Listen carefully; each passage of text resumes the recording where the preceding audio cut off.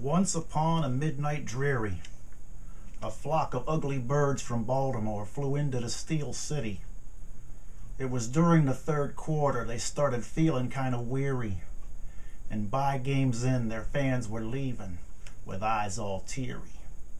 For they saw their team and their Super Bowl dream go up in smoke just like a bad joke. They'd done a lot of chirping prior to the game but it all turned out to be quite lame.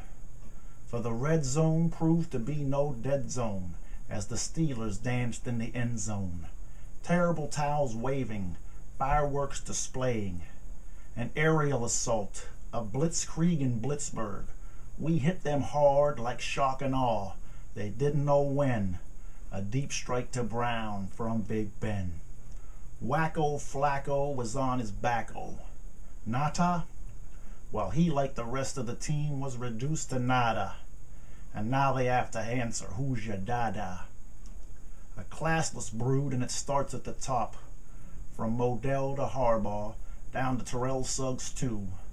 But their days were numbered, and now they're through. For just like 3,000 blackbirds that fell dead from the sky, these ravens too came to Pittsburgh, only to die. Toast.